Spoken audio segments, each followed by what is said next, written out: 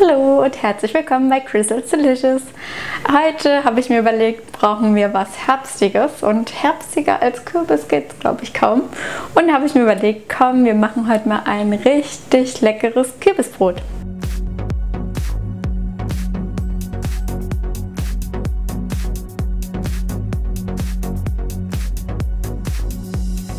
Wir backen das Ganze im großen Ofenmeister vom Pampered Chef.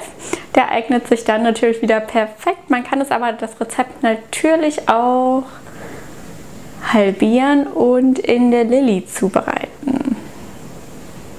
Aber ich muss euch ehrlich sagen, ich überlege gerade so, weil ich nämlich dieses Rezept jetzt auch gerade eben mir zusammengestellt habe aus zwei verschiedenen.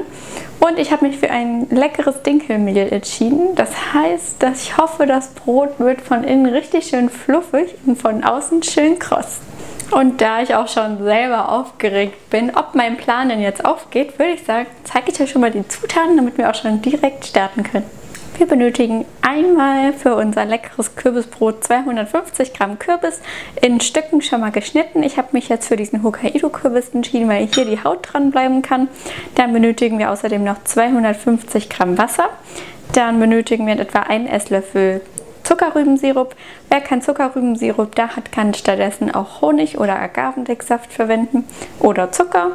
Dann benötigen wir einen halben Würfel Hefe, 1,5 Teelöffel Salz, 70 Gramm Kürbiskerne und 520 Gramm Dinkelmehl Typ 630.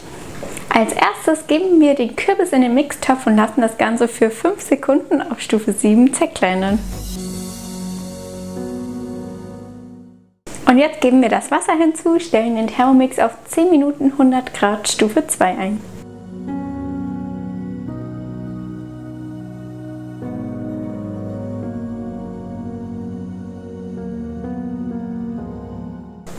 Jetzt lassen wir den Thermomix einfach nur, man kann, wir machen auch den Deckel weg, damit die Hitze schneller rausgeht, auf Stufe 2. Einfach weiter rühren, bis es die Temperatur von 37 Grad erreicht hat. Und das kann in etwa so 20 bis 25 Minuten dauern. Wenn wir jetzt die 37 Grad erreicht haben, dann geben wir unseren Hefewürfel und unser Zuckerrübensirup hinzu und stellen den Thermomix wie immer auf ähm, 4 Minuten 37 Grad Stufe 2.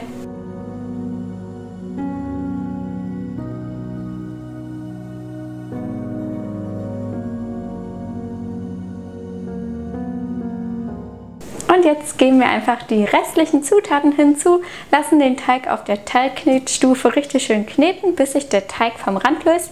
Falls er sich noch nicht löst und zu klebrig aussieht, gibt einfach von oben noch mal ein bisschen Mehl hinzu.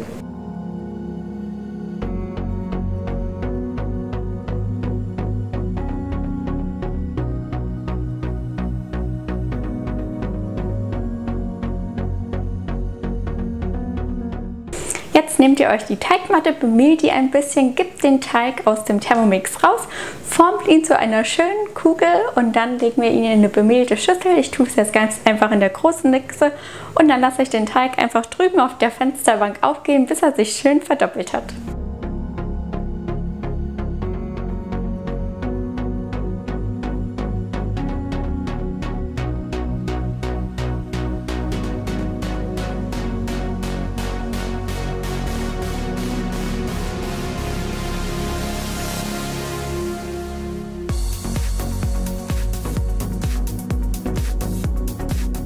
In der Zwischenzeit fetten wir den Ofenmeister schon mal mit hitzebeständigem Öl.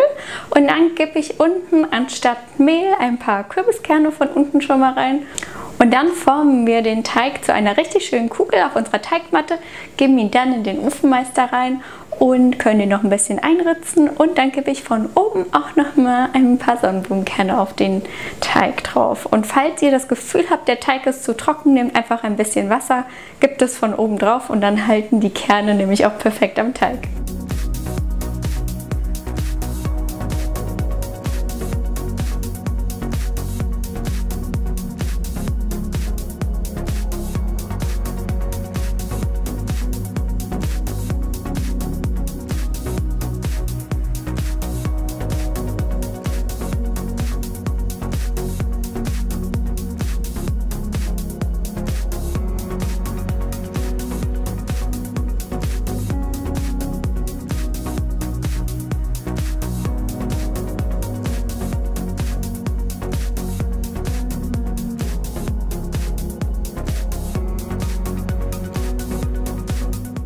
Ihr Lieben, das war's auch schon.